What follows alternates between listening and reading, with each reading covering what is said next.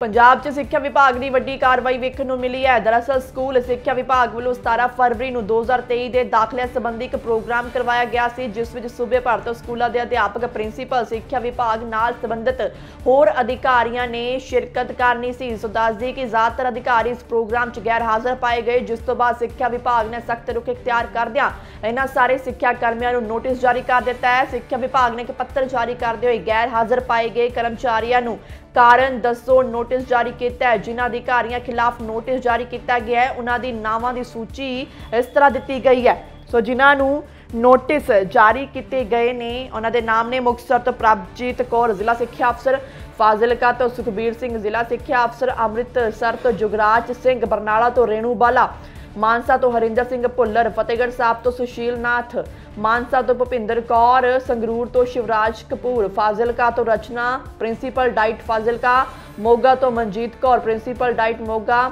ਅੱਗੇ ਬਠਿੰਡਾ ਤੋਂ ਸਤਵਿੰਦਰਪਾਲ Kaur Sidhu, principal DIET Bathinda, Gurdaspur ਤੋਂ Charanvir Singh, principal DIET Gurdaspur, Kapurthala Mamta Bajaj, principal DIET Kapurthala Ludhiana ਤੋਂ Rajwinder Kaur, principal DIET Ludhiana, Jalandhar ਤੋਂ Dharminder Raina, principal DIET Jalandhar, Sangrur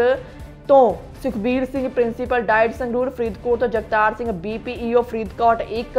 number Faridkot ਦੇ ਵਿੱਚੋਂ ਹੀ ਦਲਬੀਰ ਸਿੰਘ ਬੀਪੀਈਓ ਜੈਤੋਂ, ਗੁਰਦਾਸਪੁਰ